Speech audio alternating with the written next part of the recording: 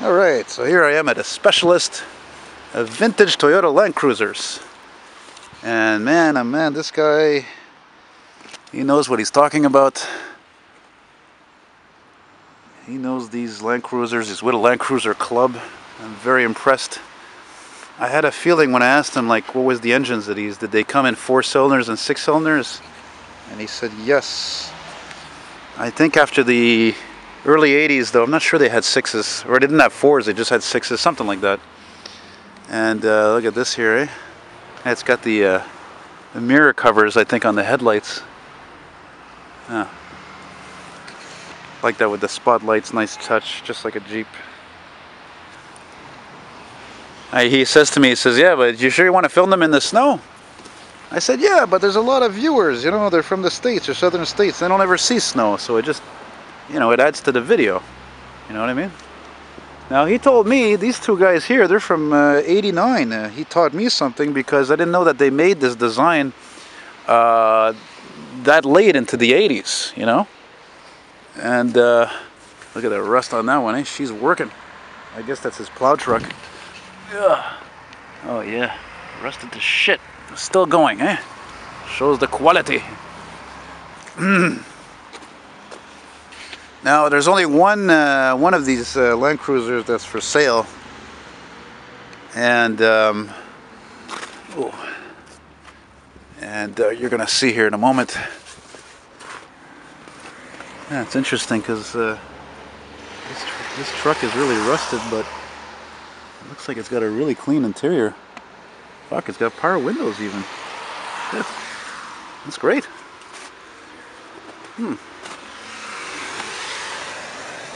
Yeah, pretty rusty. This Corvair Wild would say rusted. Yeah. I'd love to ride in one of these, you know? I can see why they're so popular. I mean, four-wheel drive vehicles, they're all popular, you know? But uh, I would really uh, like to see what they're like ride-wise. Never rode in a Land Cruiser, or any Land Cruiser.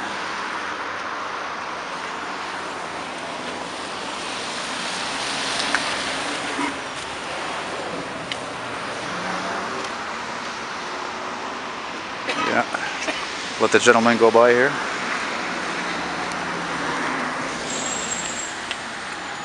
It's fitting also like so many garages, you know, uh, mechanics garage that these these old Japanese made trucks are uh, parked at an old garage. Look at this bad boy here. This looks like the Toyota equivalent of a Ram for Christ's sake, eh? For sale. Look at this old Land Rover, man. Holy shit, this thing must be from the 80s. I should have asked him what year this is from. And this model over here is especially for you, Pete, aka Sofa Chips. It's a 76, man. With a really weird freaking bumper. It's for sale, man. $22,000. 37 grand invested in this. And the gentleman, like I said, who owns this garage, he restored this. Yeah.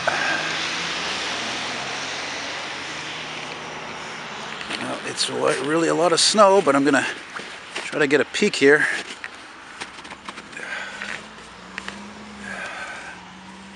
Yeah, it's A1. A1.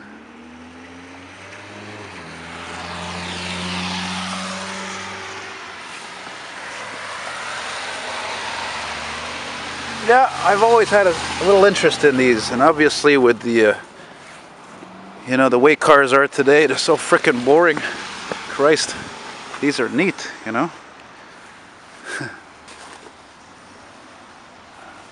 The best 4x4 by far. Hmm. And uh, yeah, oh yeah, I almost forgot to mention, this thing has a 350 in it, man. 350 crate motor, 300 horsepower. Jesus Christ, this thing must fly. It must fly. Oh.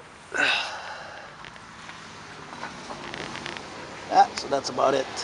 I really gotta take a whiz, so take it easy. And Oh yeah, let's just get one last shot around here. So, if you're in Quebec, or anywhere for that matter, this is the guy to go to. Look, he's the Land Rover special, ah, excuse me, Land Cruiser specialist. But he seems to like Land Rovers too, so. There you go.